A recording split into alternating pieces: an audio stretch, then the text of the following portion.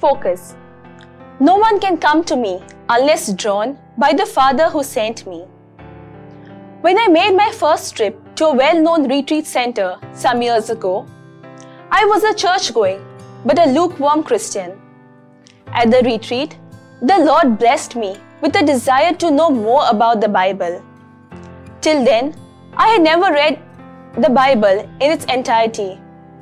But when I began reading from Genesis onwards, I could not reconcile myself to the God of the Old Testament. My mind was full of questions and doubts.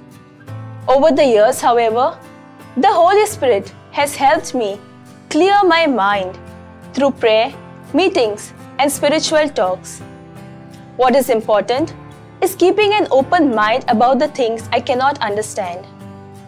The eunuch in the first reading was traveling down a deserted road.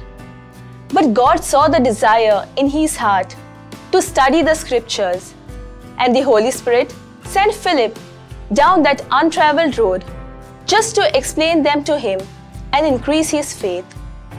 Similarly, the Lord is always drawing us to Himself. It could be through the people we meet, through answered prayers, or even through disappointments. He uses our failures to make us better, not bitter. His call is ongoing in the various circumstances around us. His purpose is just one to gather us to Himself. Fruit. I will willingly respond to my Father who draws me through the events of my life and help draw others to Him too.